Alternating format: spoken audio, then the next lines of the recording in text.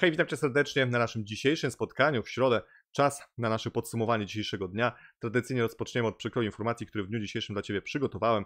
Zobaczymy również, jak radzą sobie rynki zagraniczne i podsumujemy dzisiejszą sesję na GPW. Jeżeli ta tematyka Cię interesuje, to na pewno warto pozostać, kliknąć subskrypcję oraz dzwoneczek, aby YouTube informować o każdym kolejnym nowym nagraniu. A jak masz jakieś przemyślenia odnośnie obecnej sytuacji w Europie, na świecie, czy też na poszczególnych rynkach, to zapraszam do sekcji komentarzy i w tym miejscu możesz podzielić się właśnie swoją opinią. Dodam, że dzisiaj wleciały nagrania w portfelu Grosik, jak również w przeglądzie sektorowym, gdzie mieliśmy bardzo ciekawy sektor i jest teraz nie lada okazja, żeby dołączyć do naszych zamkniętych spotkań, gdyż w miesiącu marcu obchodzę piąte urodziny tego kanału, tak więc warto skorzystać z obniżek, które właśnie z racji tych urodzin przygotowałem. A teraz już nie przedłużając, przechodzę już do konkretów, jeżeli chodzi o pierwsze informacje. Inflacja w Wielkiej Brytanii na szóstkę, najwyższy poziom od 30 lat. W lutym roczna stopa inflacji w Wielkiej Brytanii wzrosła do 6,2%, co jest pierwszym przypadkiem od 30 lat, by przekroczony został poziom 6%. Podał w środę brytyjski Urząd Statystyczny ONS. Jak więc widzimy, rekordy cały czas przez inflację są bite w poszczególnych państwach. Lećmy dalej, bo tutaj mamy bardzo ciekawe doniesienie. Ukraiński wywiad wojskowy. Rosyjscy oligarchowie chcą powstrzymać Putina. Rosyjscy oligarchowie cierpią z powodu sankcji i chcą powstrzymać prezydenta Władimira Putina, informuje środę ukraiński wywiad wojskowy. W Moskwie odbyło się spotkanie rosyjskiego oligarchy Piotra Awena i kazachskiego miliardera Aleksandra Maszkiewicza, pisze wywiad w komunikacie. Podczas spotkania Awen powiedział, że rosyjscy oligarchowie są bardzo zdenerwowani z powodu polityki Putina, a sankcje nałożone na Rosję i konkretnych biznesmenów przez wojnę na Ukrainie boleśnie uderzyły w aktywa rosyjskich miliarderów, twierdzi ukraiński wywiad. Przedstawiciele wielkiego biznesu rosyjskiego poszukują sposobów wpływu na Putina albo na jego otoczenie z bloku siłowego, dodaje. Wywiad podkreśla, że jest to trudne ze względu na izolację Putina i to, że prawie nikogo do siebie nie dopuszcza. W pierwszej kolejności oligarchów, których uważa za niegodnych zaufania, czytamy. Według ukraińskiego wywiadu wojskowego, rosyjski wielki biznes jest gotowy na najbardziej radykalne kroki. Pewni oligarchowie nawet omawiają opłacenie fizycznego usunięcia Putina, dodaje wywiad. Bardzo ciekawe, daj znać, co o tym sądzisz w komentarzu. Współpracownik Putina i były wicepremier wyjechał z Rosji. Media. To protest przeciwko wojnie. Wysłannik prezydenta Rosji do spraw zrównoważonego rozwoju, Anatolij Czubajs, zrezygnował ze swojego stanowiska i opuścił Rosję w związku z agresją na Ukrainę. Podały w środę agencja Bloomberg i Reuters, powołując się na źródła bliskie politykowi. Czubajs jest znany przede wszystkim jako architekt rosyjskiej transformacji po upadku ZSRR. Lećmy dalej. Scholz przeciwny natychmiastowemu wstrzymaniu importu ropy i gazu z Rosji. Kanclerz Scholz pozostaje przeciwny natychmiastowemu wstrzymaniu importu ropy i gazu z Rosji. Stanowisko rządu niemieckiego pozostaje niezmienne, powiedział Scholz po spotkaniu z przewodniczącą Parlamentu Europejskiego w Berlinie. Powściągliwie podchodzi do wykluczenia Rosji z grupy G20. Interesy, interesiki, lećmy sobie dalej. Scholz. Ukraina może liczyć na naszą pomoc, ale NATO nie stanie się stroną w wojnie. Ukraina może liczyć na naszą pomoc, powiedział kanclerz Niemiec Olaf Scholz w środę w Bundestagu. Zastrzegł jednak, że nie widzi możliwości zrezygnowania z dostaw energii z Rosji w perspektywie krótkoterminowej oraz podkreślił, że NATO nie stanie się stroną w wojnie. 45 rosyjskich dyplomatów zostanie wydalonych z Polski. Polska w koordynacji z sojusznikami podjęła decyzję o bardzo znaczącej redukcji personelu dyplomatycznego Ambasady Federacji Rosyjskiej. Łącznie nasze terytorium opuści 45 osób o różnych statusach dyplomatycznych, poinformował w rzecznik MSZ. Lećmy dalej. Agencja Reutera rezygnuje z umieszczania treści pochodzących z rosyjskiej agencji TASS w swojej ofercie dla klientów biznesowych. Decyzja ma związek ze sposobem przedstawiania inwazji na Ukrainę w rosyjskich mediach poinformowało w środę kierownictwo Reutersa. Lećmy dalej. Koncern Nestle ogłosił w środę, że ogranicza działalność w Rosji. Jak ogłosiła firma, zawiesiła już działalność szeregu swoich marek i wszelkie kampanie reklamowe, wstrzymała większość importu i eksportu, zawiesiła też inwestycje kapitałowe w Rosji. Lećmy dalej. Żywność i paliwa dla Ukrainy. Komisja Europejska chce uruchomić nowy program. Komisja Europejska zaproponowała w środę uruchomienie programu, w ramach którego na zapewnienie dostępu do podstawowych produktów, w tym żywności, Ukraina będzie mogła dostać 330 milionów euro w formie pożyczek. Komisja Europejska wyraziła też gotowość do powołania m.in. zespołu negocjacyjnego w celu wspólnych zakupów gazu na poziomie unijnym. Rosja celowo niszczy zapasy żywności w tym kraju, podkreśliła Komisja Europejska. Lećmy dalej. Ropa się nie zatrzymuje, ceny surowca w górę. Ceny ropy rosną podczas środowego handlu. Zbliża się szczyt Unii Europejskiej i NATO, a to może skutkować nowymi sankcjami dla Rosji w związku z trwającą już miesiąc wojną na Ukrainie, informują maklerzy. Zaraz zobaczymy, ile kosztuje baryłka ropy na podsumowaniu. Popatrzmy dalej, co się dzieje. Gaz na europejskich rynkach w środę mocno drożeje. Kontrakty na gaz na kwiecie na holenderskim hubie w środę drożały o ponad 5%, w stosunku do zamknięcia we wtorek. Gaz jest wyceniany na blisko 104 euro za megawattogodzinę. Lećmy dalej. Holandia zamierza zwiększyć wydobycie gazu z Morza Północnego. Holandia będzie w najbliższych latach wydobywać więcej gazu ze złóż na Morzu Północnym. Rozpoczęliśmy już procedurę wydawania pozwoleń. No to lećmy dalej. Ceny miedzi na stabilnych poziomach. Notowania miedzi na giełdach metali w Londynie i Szanghaju są na stabilnych poziomach, a w Nowym Jorku nieznacznie spadają. Metal na londyńskim parkiecie w dostawach 3-miesięcznych jest wyceniany w pobliżu 10 268 dolarów za tonę, notowanych na zakończenie poprzedniej sesji. Lećmy dalej. Państwowa sieć sklepów. Minister zabrał głos w sprawie holdingu spożywczego. Będziemy chcieli nabywać w różnych miejscach zakłady przetwórcze, ale myślę, że również przyjdzie czas na sieć handlową stwierdził w środę wicepremier minister rolnictwa, pytany o holding spożywczy. Powinien on działać w pierwszym półroczu bieżącego roku, dodał. Ciekawe, popatrzmy dalej, co się dzieje. Rekordowo silny wzrost oczekiwań inflacyjnych w Polsce. Nie było zaskoczeniem, że marzec przyniósł wzrost oczekiwań inflacyjnych wśród polskich konsumentów.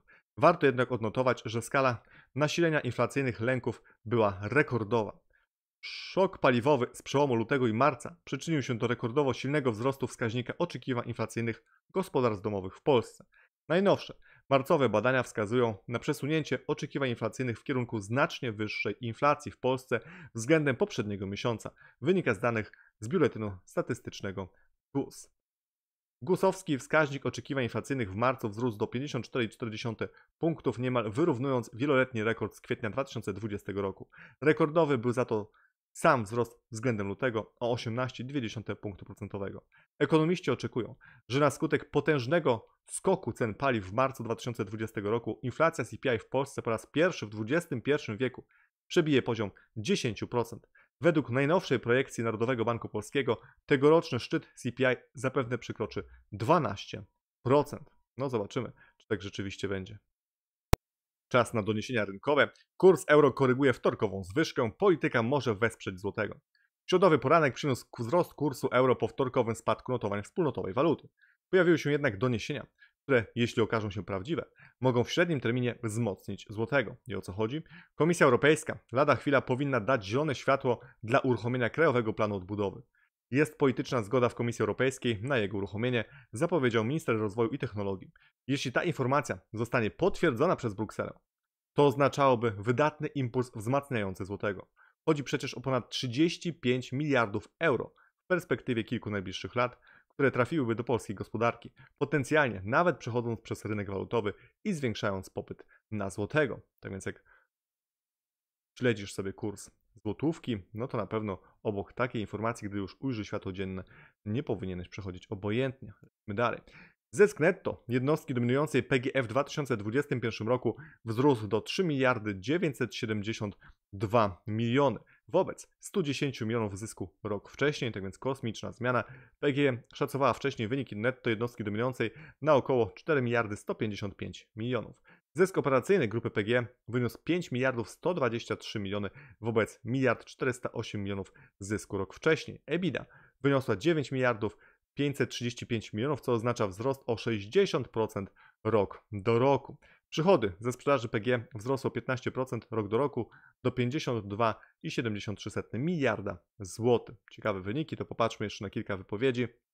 PG ocenia, że projekt utworzenia Narodowej Agencji Bezpieczeństwa Energetycznego przebiega zgodnie z harmonogramem i zakłada, że w 2023 roku nie będzie mieć aktywów węglowych.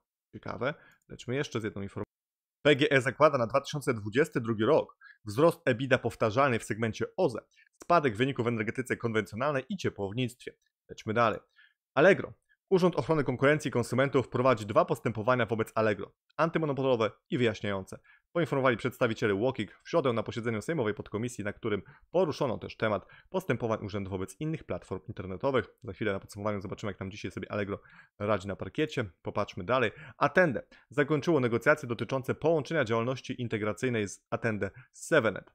Strony nie doszły do porozumienia w sprawie kluczowych warunków połączenia i wspólnie postanowiły odstąpić od dalszych rozmów. Ciekawy news, popatrzmy dalej. LPP przywróciło działalność około 25% salonów stacjonarnych w Ukrainie.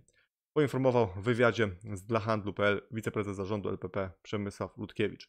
Nie planujemy wycofania się z rynku ukraińskiego, który stanowił 6% naszego biznesu. Jednak w związku z trwającą tam agresją militarną Rosji, firma zawiesiła na czas nieokreślony działalność w regionie objętym zagrożeniem. W momencie ogłoszenia stanu wojennego w Ukrainie zamknęliśmy wszystkie 157 sklepów naszych marek. Obecnie w regionach, gdzie sytuacja na to pozwoliła, na prośbę naszych pracowników i lokalnych władz przywróciliśmy działalność około 25% salonów stacjonarnych. Dodał, podał, że LPP wstrzymało na tym rynku dostawy zakupów online oraz funkcjonowanie sklepów internetowych. Lećmy dalej. Bogdanka pokazała zysk za 2021 rok. No to popatrzmy na wyniki. Bogdanka miała w 2021 roku ponad 797 milionów EBITDA i ponad 288 milionów zysku netto. Według wstępnych danych ubiegłoroczna EBITDA miała sięgnąć ponad 779 milionów, a zysk netto ponad 276 milionów. Ciekawe. Przychody grupy w 2021 roku wyniosły zgodnie z wcześniejszymi szacunkami 2 miliardy 371 milionów. Zysk operacyjny wyniósł ostatecznie ponad 366 milionów wobec szacowanych 351 milionów. Tak więc dosyć ciekawa sytuacja, ale dla porównania jeszcze popatrzmy. Skonsolidowany zysk netto Bogdanki w 2020 roku wyniósł 73 miliony. EBITDA wyniosła 466 milionów, EBIT 95, a przychody 1 822 miliony. Bardzo ciekawe wyniki. Lotos chwali się wynikami, to popatrzmy jakie to wyniki. Oczyszczona EBITDA LIFO grupy Lotos w czwartym kwartale ubiegłego roku wyniosła 1,48 miliarda złotych, co oznacza wzrost rok do roku o 636%. Dobrze słyszałeś. W tym wyniku EBITDA segmentu wydobywczego sięgnęła 58 miliarda, a segmentu produkcji i handlu 95 miliarda.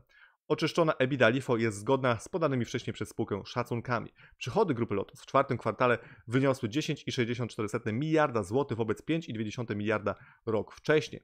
Raportowany zysk EBIT w czwartym kwartale sięgnął 1,4 miliarda wobec 17,4 miliona zysku operacyjnego przed rokiem. Tak więc widzimy bardzo ciekawe wyniki. Raportowany zysk netto grupy Lotos wyniósł 990 milionów wobec 7,5 miliona straty netto przed rokiem. Zobaczymy, jak tam dzisiaj Lotos sobie radzi. Lotos planuje zwiększyć nakłady inwestycyjne w 2022 roku do bliżej 2 miliardów złotych, poprzednio ponad miliarda w 2021 roku. Lećmy dalej. Lotos jest gotowy zrezygnować z dostaw ropy z Rosji na rynku spot. To jest istotna informacja. Analizujemy każdy dostępny kierunek dostaw ropy. W 2021 roku realizowaliśmy dostawy co najmniej 8 kierunków. Dostawy ropy na rynku spotowym stanowią dla nas marginalne znaczenie. Nie mamy problemu, żeby w zakresie dostaw spot zrezygnować z dostaw ropy z Rosji. Ciekawe, lećmy dalej. JSW zasili swój fundusz stabilizacyjny kwotą do 700 milionów złotych. Zobaczmy, jak radzą sobie rynki zagraniczne. Jeżeli chodzi o poszczególne państwa, widzimy, że dzisiaj bardzo ładna zieleń na rynku chińskim. Rynek japoński dzisiaj podzielony, Tajwan również tutaj podzielony, Indie w czerwonych barwach, Południowa Afryka w zielonych barwach, ale jak widzimy, popatrzmy, Europa raczej nie rozpieszczała dzisiaj swoich inwestorów. Widzimy, że Wielka Brytania podzielona, Irlandia wyprzedaje, Wielka Brytania również podzielona, Brazylia za to pozytywnie, Meksyk również bardzo ciekawa sesja. To popatrzmy, jak sobie radzą w tym momencie Stany Zjednoczone. Pamiętajmy, że sesja cały czas tam w Stanach trwa. Apple dzisiaj zyskuje 1,5%, Adobe, popatrzmy, Potężne zejście 9,8%. Microsoft spada 76%, Google 36%, Tesla popatrzmy jak ładnie odbija 4,2%.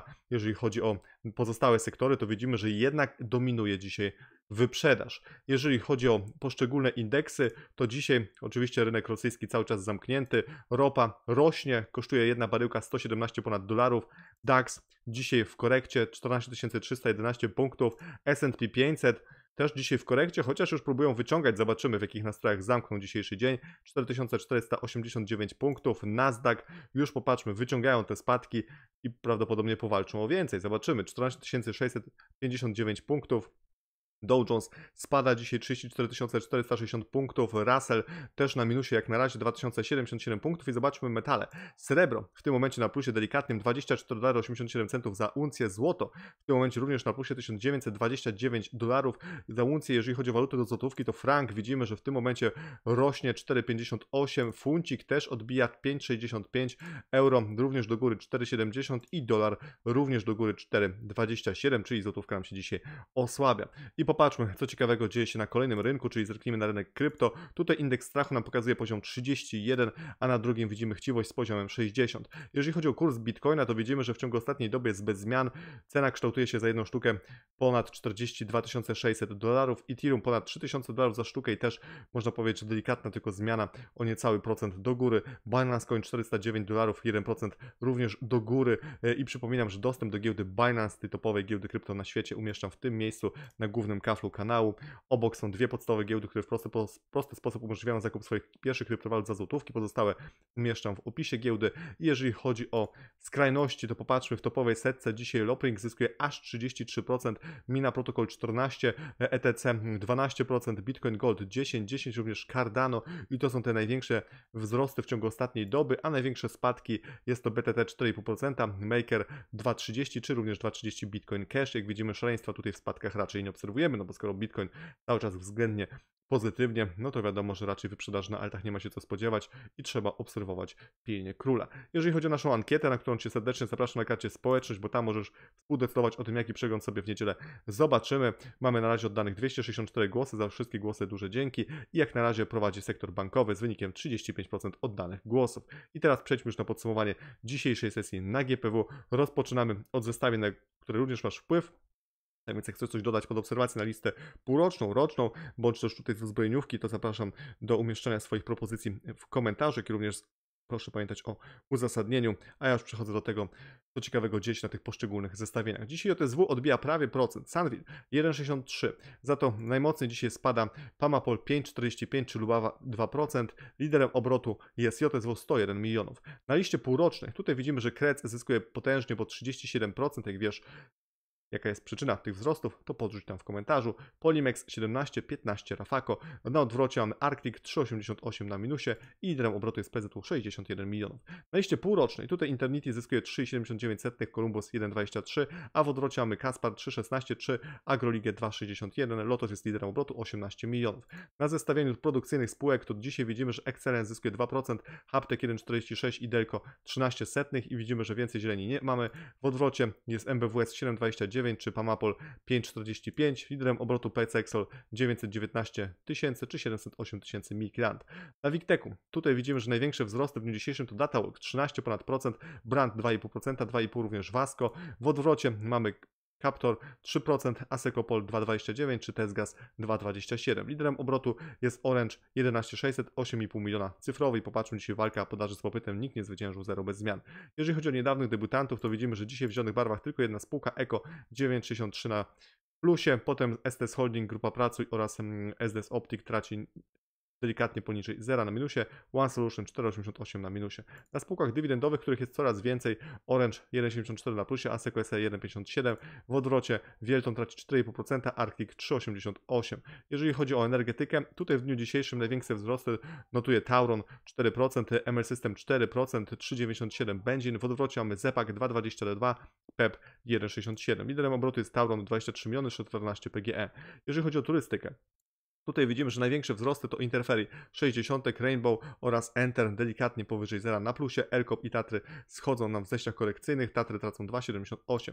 Jeżeli chodzi o odzieżówkę, dzisiaj Silvano 3,45 na plusie, CCC 2%, 1,99 Redan i w odwrocie dzisiaj mamy Ezotic 4,40, a Plantor traci 2,85. Liderzy obrotu to LPP 39 milionów 22 CCC. Jeżeli chodzi o gastronomię, to tutaj Maxi Pizza zyskuje 1,43, w odwrocie mamy Hamburgera 8,91, Amre nawet z największym obrotem 725 tysięcy, dzisiaj zaledwie 500 na plusie.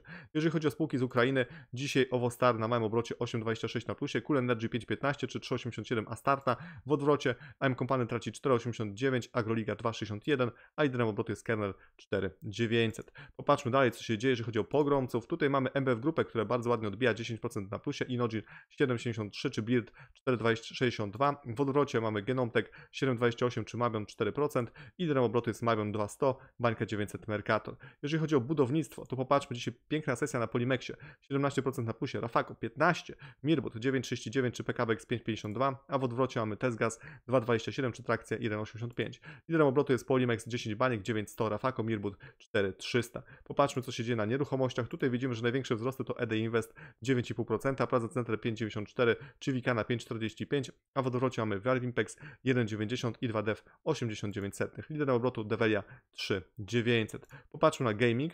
Jeżeli chodzi o największe wzrosty w dniu dzisiejszym to Incuvo zyskuje 15 ponad procent, Drageus 6,762, Detalion 7,14, Polyslash 5,81 i jak widzisz tutaj szaleństwa też nie obserwujemy pośród 80 ponad spółek, które jest tutaj notowanych w tym zestawieniu. W odwrocie za to mamy Carbon Studio 780, Unilab 749 czy Pyramid 714. Liderem obrotu jest oczywiście Król, czyli CD Projekt, który dzisiaj rośnie 2,17 na plusie, 87 milionów. TS Games 3 bańki i 2600 11 bit. Sam indeks rośnie dzisiaj o 44 setne, kurs to 18 846 punktów. Jeszcze zerknijmy na, na shorty. Co tutaj ciekawego się dzieje? Rejestr krótkiej sprzedaży pokazuje, że mamy dwa shorty na Allegro, 3 na CD Projekcie, dodatkowo CCC, KGHM oraz LiveChat. Wracamy na sektor bankowy, popatrzmy co tam się ciekawego dzieje i widzimy, że w dniu dzisiejszym na prowadzeniu tylko trzy banki, to delikatnie powyżej zera, bo mBank, BOŚ i PKBP, jak widzimy niecały procent na zielonych barwach. W odwrocie Santander dobywa 3%, Millennium 2,72 czy Unicredit 1,89, a liderem obrotek widzimy z PKO SA 172 miliony, 95 PKBP, mBank 29, sam indeks traci 66 setnych, 7438 punktów. A tam chyba trzeba dodać nowy indeks. WIG gry. Dodamy tutaj, żebym pamiętał. Jeżeli chodzi o OZE, to zobaczmy, co się ciekawego dzieje. Stilo 15,65 na plusie, e, potem mamy G-Energy 6,98 czy Berg Holding 5,83, a w odwrocie mamy Sandragona 20% na minusie, Letos 8,78 i też obrotu do Sandrago 2, dwie bańki, bańkę 300 Grodno.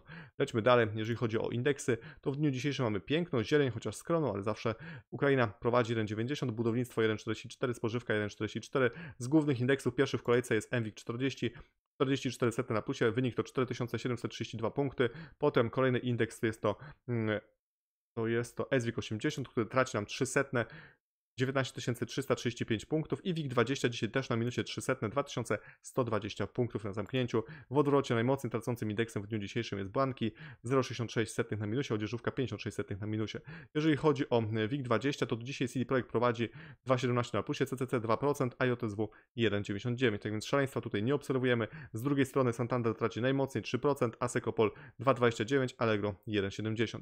Liderzy obrotu to PKO SA 172 miliony, JSW 101 milionów. Lećmy z z, z sąsiednimi spółkami, Envik 40, tutaj Datawalk zyskuje 13%, Eurocash 5,60, Kenty 4,33 i w odwrocie, jak widzimy, mamy Mabion 4%, Huge 3,59 i jeżeli chodzi o największe dzisiaj obroty, to Taron 23 miliony, 14 Kenty. Lećmy teraz z tym, co się dzieje na małych spółkach, czyli SWIG 80 wlatuje na ekran i widzimy, że największe wzrosty to Polimex 17,4%, Rafaco 15%, Mirbut 9,39, w korekcie mamy M Company 4,89, czy Wielton 4,53. Liderem obrotu jest Bogdanka 25 milionów, 10 milionów Polimex. Na New Connectie popatrzmy, dzisiaj największe wzrosty to BioRK, ale to oczywiście trzeba zweryfikować, bo jest po PKC, Tyliani 33, Accept Fin 31, Merlin 31, potem mamy na dużym obrocie coś mamy? Eko 963 624 tysiące. Jeżeli chodzi o największe dzisiaj spadki na New Connectie, no to popatrzmy, co tutaj ciekawego się dzieje i widzimy, że największe zejście to Prymus 21%, Sandragon 20%, czy na przykład e, DS Stream 12,5% w dół też na podwyższonym obrocie. jeżeli chodzi o liderów obrotu na małym parkiecie, to dzisiaj spółką, która przekroczyła magiczną barierę miliona złotych jest Sandragon który przekracza 2 miliony, a Carlson bańkę 300. Jeżeli chodzi o indeks szerokiego rynku, popatrzmy, co się ciekawego dzieje na największych zmianach. Ja sobie odpalam w tle statystyki sesji i dzisiaj obroty wynosiły 1 184 miliony 334 579 sztuk, y, zł, a transakcji zawarto 126 225 mm, sztuk. I jeżeli chodzi o największe wzrosty, to dzisiaj liderem jest Krec 37,8, IFSA 26, Skotan 19, 17 Polimex, Rafaco 15, 13 Datawalk Potem e, J Group 11 czy mm, PEP e, 10%. To są te największe tutaj wzrosty. PEP to PDA oczywiście. I jeżeli chodzi o największe spadki dzisiaj na WIG-u, no to będzie to spółka, którą tutaj widzimy. Medicarg 8,14, MBWS 7,29, Invista 6,72. I popatrzmy na liderów obrotu. Czy mamy kogoś, kto tutaj się wysoko również uplasował i nie mamy nikogo spoza oczywiście WIG 20. To jeszcze zerknijmy na wykresy. Jeżeli chodzi o indeksy, to popatrzmy. WIG cały czas się kisi w tym range'u, tak więc widzimy, że ten opór na 45 tysięcy, 65 tysięcy jest bardzo istotnym miejscem do rozjechania, jeżeli oczywiście chcemy mieć pozytywny scenariusz. Zobaczymy, czy uda im się to zrobić. WIG 20 podobnie, popatrzmy, cały czas się kiszą w tym range'u na dniówkach, który nam tutaj powstaje, tak więc 2150 jest istotnym miejscem oporu z celem oczywiście uderzenia 2200, jeżeli w ogóle dadzą radę, jak odpadną poniżej 200, niestety nie będzie to nic pozytywnego.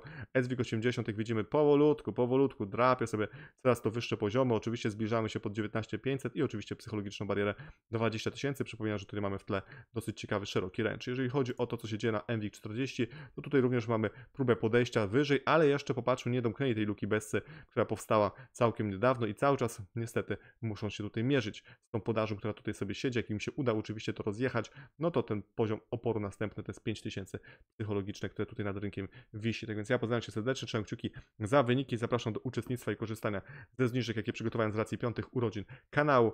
Trzymaj się, na razie, hej.